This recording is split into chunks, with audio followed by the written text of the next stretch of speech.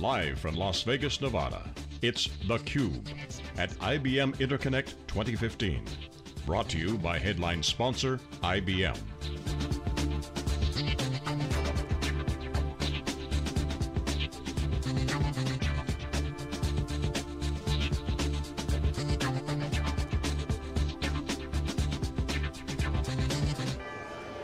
Okay, welcome back everyone. We are here live. This is theCUBE in Las Vegas with IBM Interconnect, a special presentation of theCUBE where we go out and extract the signal from the noise. I'm John Furrier, the founder of SiliconANGLE. Join my co-host Dave Vellante, co-founder of Wikibon.org. Our next guest I'm super excited for because we talk all the time online. We don't see each other in person except at these events. It's good to have intimate conversation. Our next guest, Amber Armstrong, Program Director, IBM Social Business. Welcome to theCUBE. Thank you so much. theCUBE is one big crowd chat, but three of us, and hopefully we really can't chat with anyone else, but there is a crowd chat online right now, so if you're watching, go to crowdchat.net slash IBM Interconnect. We'll be watching, bring the questions in. Amber is probably the best power user we've seen on the crowd chat, um, mainly because you guys have such a great community, but you guys are really doing well, and, and, and, people who know me and Dave know that we love social business because it's not about the PR and the buzz and just talking to yourself, it's actually connecting with relationships and using that interaction engagement to create more attraction, more people interacting, to create data, to create engagement, and that's the holy grail right now. So tell us, how's it going? How did you get here? And can you be prolific at the same time of creating value? Yeah, I think so. I mean, I don't know, try. um, no, we, you know, we, when we do the crowd chats, one of the big pieces that works for us most is we bring in our influencers. And you bring them in based on the topic. So you try to figure out, you know, what's going to be the most valuable to the audience around this particular topic. And then you bring in the right influencers and you, you know, run through the questions. We try to do make our crowd chats really visual, and so we put the questions up with you know the the, the, the, tiles, and we also try to get things so that they're also kind of pushing out to Twitter overall, and trying to bring as many people as we can into the conversation. You know, what I really also love about it is it's activating, and I, th I think the term I like to use is crowd activated innovation, because what you're doing is you're not selling anything, you're providing a virtual venue around a constructed theme, so, mm -hmm. so kind of looks top-down structured, but the soil of organic growth is all going to be based upon the interaction, the topic. So it's truly the winning formula, in my opinion, of what we call, what we call earned media. So, so I want to get your take on this. Vis-a-vis -vis the old way, webinar, we have a webinar, give me your email address, give me your firstborn, we're going to sell you something, watch this video, there's no interaction. And maybe you can ask a question at the end. Right. So that's webinars, the old way. How yeah. would you compare and contrast this new way of yeah. social. Well, it's um, really about you know starting the conversations early, often. You know, really engaging with people so that when they think of social business, they think of how are they going to reach their customers. They're thinking about commerce. They automatically think of IBM, and then they drive into our owned channels to get the additional information and to really start engaging with us. But we spend our full time is providing value out to them even when they, we're not unsolicited, we're not trying to push them towards anything. But if we just push out value, then we believe that they will come back to us. And we're seeing a great increase on our website visits. Um, we've done a lot of work with TED at IBM. We just did the IBM Verse launch. And all these things, because the value we're providing to customers, we're seeing that land back on our own properties. So talk about the experience you've had with, with TED and other, other uh, chats you've done, because the crowd chat thing we've been interacting on, but I, I bring up the crowd chat because we built it to be easy to stand up. What you're doing is you're standing up social programs, almost ad hoc, but yet structured themes, this is the new way, this is the cloud way. Standing something up is a cloud geek term. Stand up with some new servers. So with the hashtags, they provide a great uh, direct response opportunity vehicle. Great. So hey, advertise the hashtag, direct response, I'm noticing you're doing that. And users are using hashtags to navigate. So this trend of the hashtags being a direct response vehicle for advertising an event, if you will, or chat, and then users navigate is the perfect storm for this innovation. Um, talk about how you guys did that, because at TED at IBM, you guys executed with non-disruptive operations in your group. You just plugged in the social programs and things just kind of Yeah, smooth? it's about building series of content. And so what we did is we started out with, you know, we would have influencers come in, we would bring in our speakers that were going to be at TED, and we started months and months before TED where we would put together what we called smart packs and it would be we would do a tweet chat we would have infographics blogs and you put that content out there so that you're already building awareness for that speaker and people are interested they're like oh we want to come and talk to this person and so it just kind of you do it in a series so people get used to it. And now we switched it and we're doing the because TED at IBM happened last year. Now we're on New Way to Work, and so we do our New Way to Work t- tweet chats. Same kind of thing. We put it out there. We did a great influencer event with Pure Matter, and we filmed the the influencers, and we now put out blogs, tweet chats. You know, the same kind of process, just in a series, so people learn to kind of constantly come back for it. So a couple other things. Um, your, your, your, your Twitter stream is very visual, I noticed. Like 99% of what you tweet has a visual in there. Yes. Is that just based on you know that it plays better? Is it based on Yeah. research that you guys did? Can you talk about that? Yeah, yeah, it's it's a rule.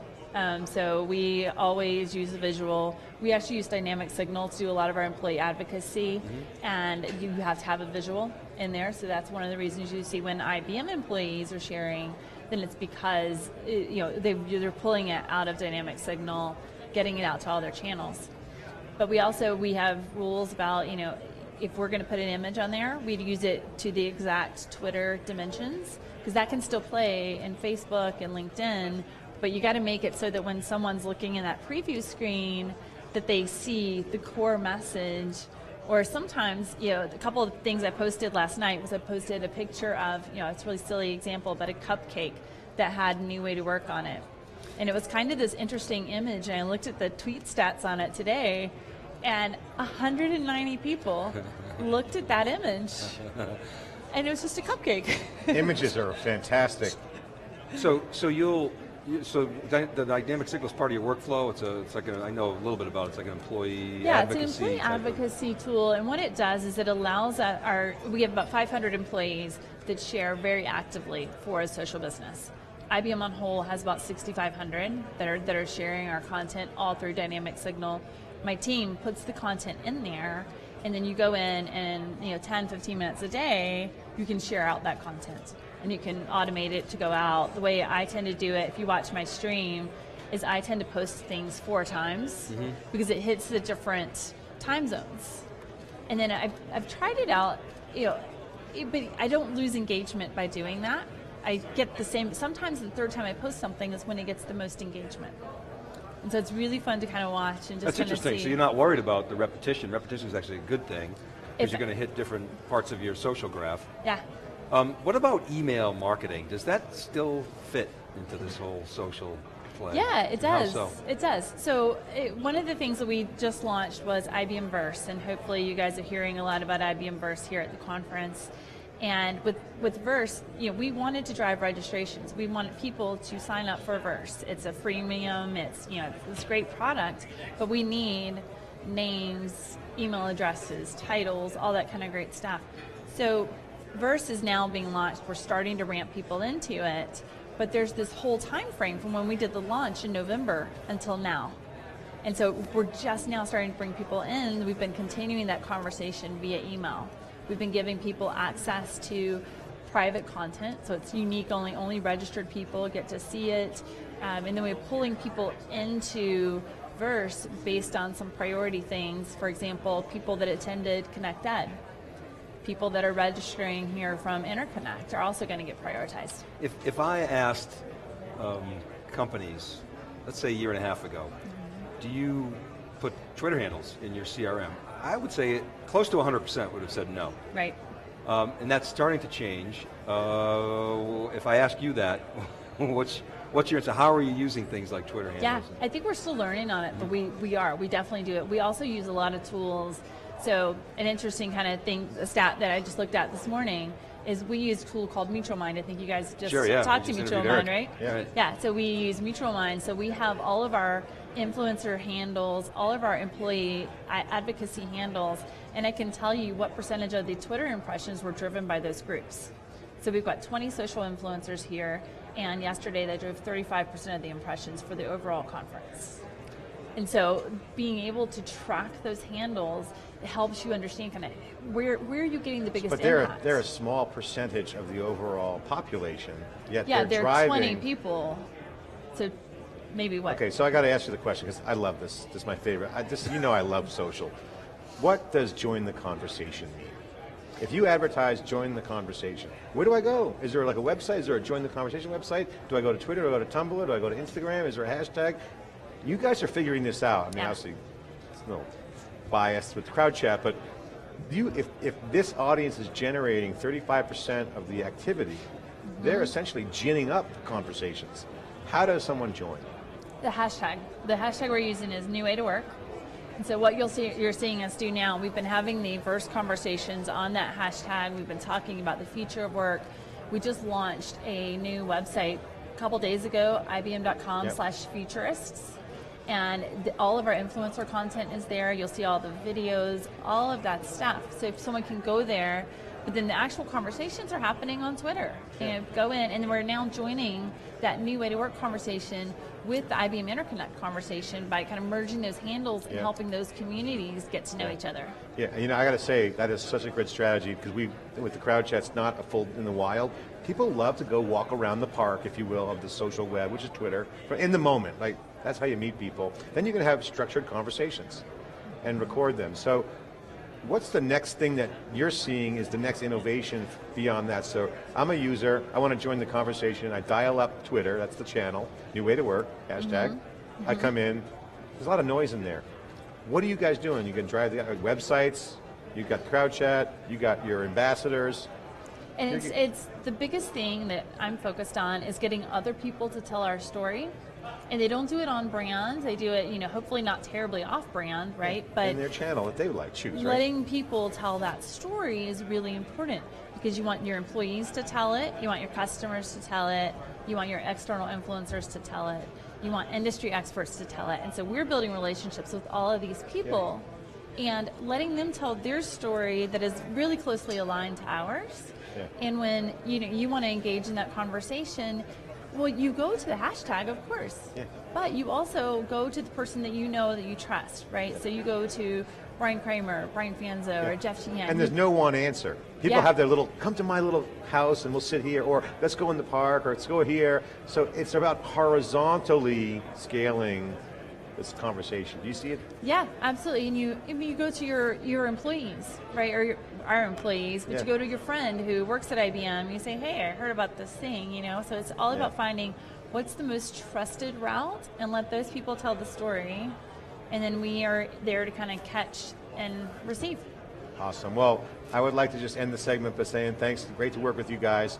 Uh, share with the folks out there just best practice philosophy. How? What's the What's the new way to think around social?